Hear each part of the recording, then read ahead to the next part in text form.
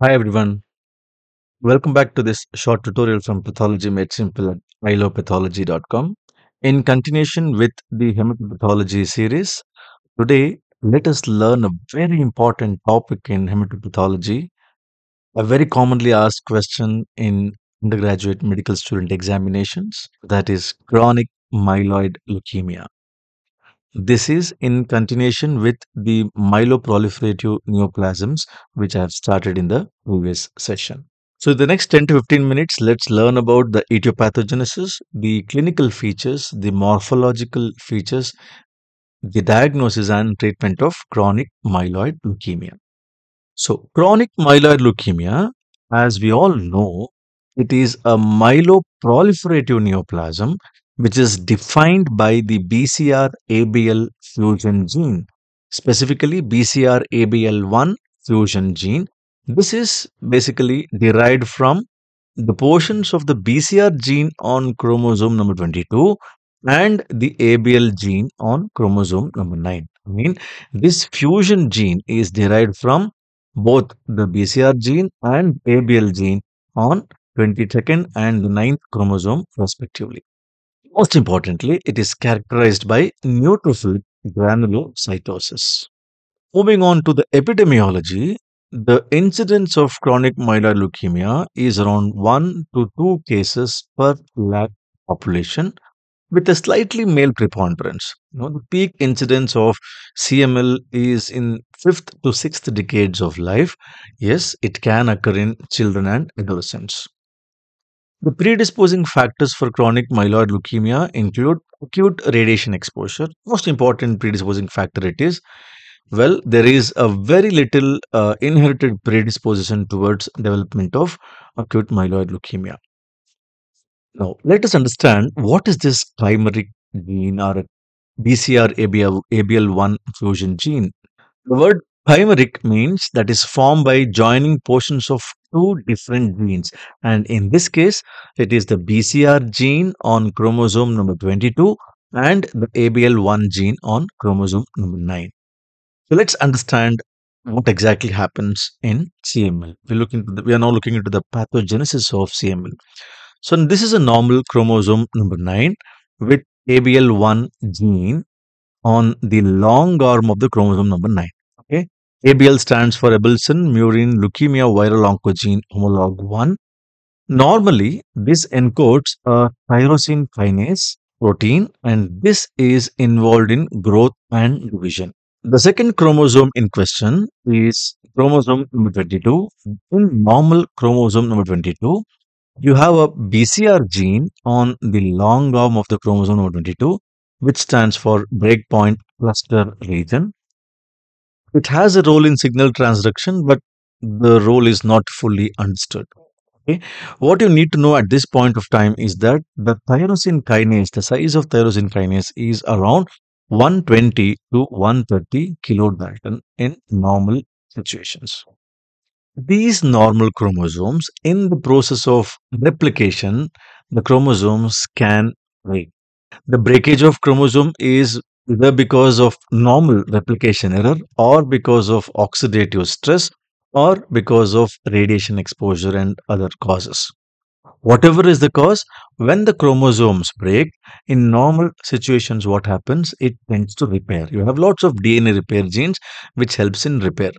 But in the case of chronic myeloid leukemia, something else happens, and that is reciprocal translocation. Okay, reciprocal translocation from chromosome number 9 to chromosome number 22. Vice versa, chromosome 22 to chromosome number 9. That's why it is reciprocal translocation.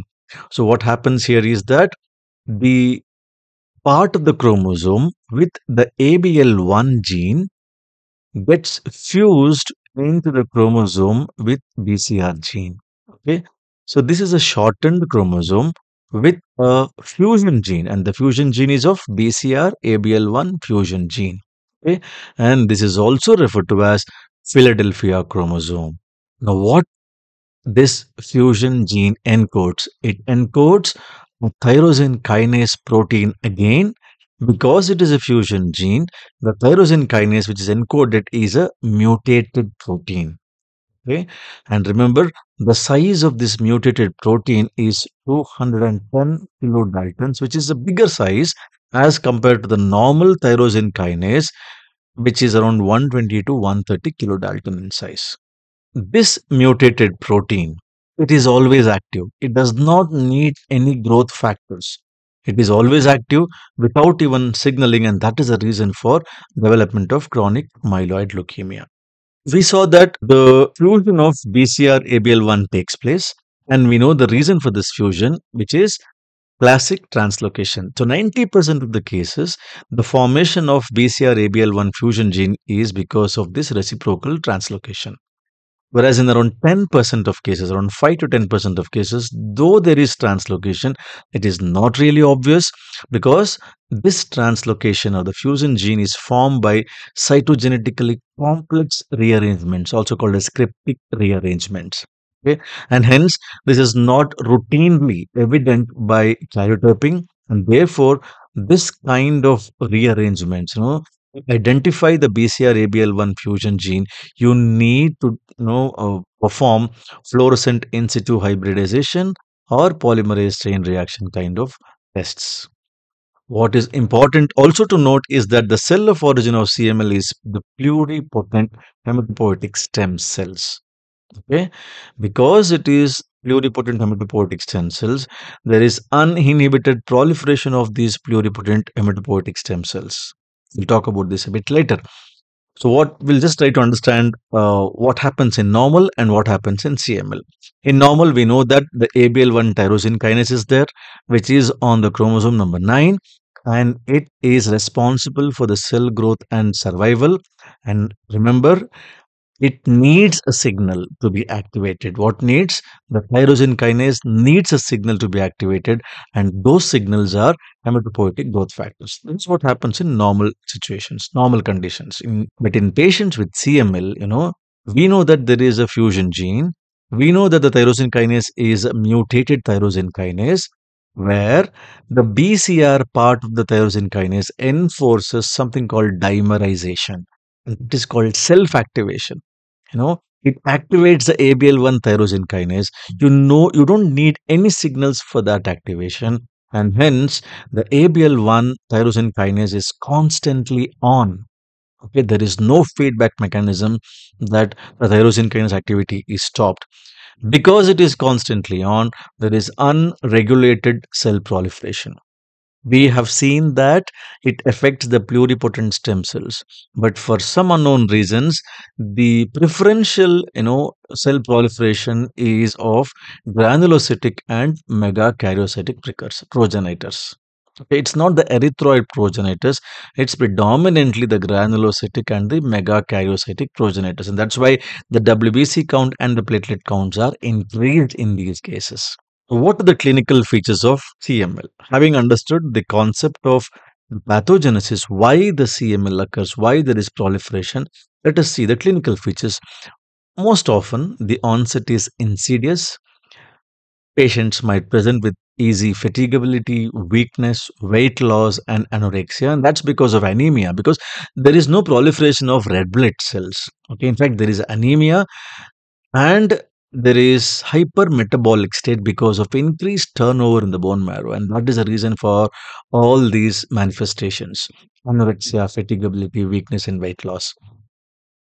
Because of extensive hematopoiesis even in extramedullary sites like spleen you have splenomegaly and most often the patients might present with dragging sensation in the abdomen. If there is a splenic infarct the patients will present with acute onset of left upper quadrant pain. So these are the various clinical manifestations of chronic myeloid leukemia. So, how do you diagnose? What are all the morphological features of CML? On peripheral smear examination, we should remember that the clinical um, the phase of CML is divided into two phases. One is chronic phase, another is blast phase. Earlier, there were three phases: chronic phase, accelerated phase, and the blast phase. Now, the WHO has said that there are only two phases. Now, they have deleted the accelerated phase. Remember, it is only the chronic phase and the accelerated phase. In chronic phase, what you see? You see leukocytosis, usually around 80 to 1.2 lakhs on an average per cubic mm of blood. What you see is neutrophils in various stages of maturation. Though I say various stages of maturation, it is the myelocytes and the segmented neutrophils which are predominant. Okay, of course you can find eosinophils. Of course you can find basophilic, you know, uh, basophils as well. This is the illustration showing granulocytes, basophilia, and eosinophilia. These are the, this is the promyelocyte. You have metamyelocytes, you have basophils, neutrophils, eosinophils, and even bad forms. Because you see that it is neutrophils in various stages of maturation, right? The myelocytes and the segmented forms of neutrophils are the predominant forms, as I told you. Well, at this stage, if you if you see a bone marrow, the bone marrow is hypercellular, and the reason for increased cellularity is massively increased numbers of maturing granulocyte precursors, as we saw. There can be increased eosinophils and basophils, and we also know megakaryocytes are also increased. Second important thing, one important peculiar feature is that you find the presence of sea blue histiocytes, which are basically macrophages with abundant wrinkled green blue cytoplasm. Looks like a sea blue. These are sea blue histiocytes in bone marrow of CML. Now, moving on to the blast phase, there is a criteria to diagnose blast phase. One, you should see more than 20% myeloid blasts in the peripheral smear or the bone marrow. Now we know that if you see more than 20% of blast, it is called acute leukemia, right? Whereas in the case of chronic myeloid leukemia, you call it as CML blast phase if you find more than 20% myeloid blast. If you don't find increased blast, if you find presence of extramedullary blast formation in the spleen, in the liver, or anywhere else, then also you can make it as blast phase of CML. Or if you find lymphoblasts in the peripheral smear or the bone marrow, it's very important to note that lymphoblasts, even if you find less than 10%, you can call it as blast phase of CML. How do you diagnose CML? Morphological find, findings, as we just saw, okay, neutrophils in various stages of maturation, increased white cell count, increased platelet count, you find eosinophilia, you find basophilia, and all those things. Right? The confirmatory diagnosis is always by either by karyotyping and fluorescent in situ hybridization studies. How do you treat CML? Because we know that CML is activation, uninhibited, uncontrolled activation of tyrosine kinase. You should treat with tyrosine kinase inhibitors okay and that's bcr abl inhibitors if you treat patients with bcl abr bcr abl inhibitors the remission is seen in greater than 90% of patients hematopoietic stem cell transplantation can be considered if the patient is relatively young and if it is done in the stable phase of young patients it's almost curative in around 75% of cases so that's about chronic myeloid leukemia. I hope the concepts are clear about chronic myeloid leukemia. It's a very simple thing. It's one of the important, it is one of the most important myeloproliferative neoplasm. In my earlier session, I had talked about differences between myeloproliferative neoplasms versus myelodysplastic neoplasms, right? There are very important myeloproliferative neoplasms, including CML, essential thrombocytosis, polycythemia vera, and so on. Today, we have discussed in detail about chronic myeloid leukemia. In my subsequent sessions, I'll be discussing the other myeloproliferative neoplasms as well. Thank you for watching. If you have liked this video, click on that like button. Do comment if you have anything to ask or if you find this video useful, please do comment. Don't forget to subscribe because I will be, you know, coming out with many more such useful videos for you as a student and please do share. Thank you.